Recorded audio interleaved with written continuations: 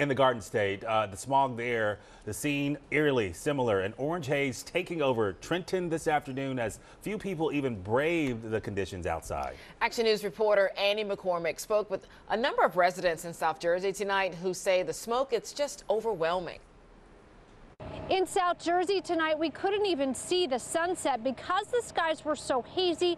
There were numerous postponements of outdoor activities tonight, including in Haddonfield, where they postponed their Little League games. In Cherry Hill today, this was the view of the sun surrounded by a hazy sky. Shoppers stopped to take pictures. Honestly, I haven't really felt any, you know, negative effects.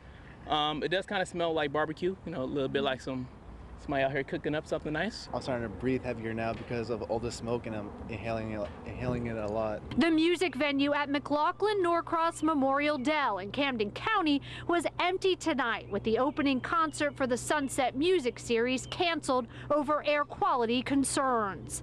Yesterday, our area was code orange, unhealthy for sensitive groups. But today, the air reached a rare code red, unhealthy for the general public. Some parts of our area may even reach reach the purple, very unhealthy level. And our pets are at risk too. Here are some symptoms to watch out for, according to the American Veterinary Medical Association. It wasn't as bad this morning when um, when I went to work, but yeah, that's not too much, but probably not taking the dog to the dog park today. I'll say that. As for that concert that was postponed tonight, it will happen again on Wednesday, June 14th at 7.30 p.m.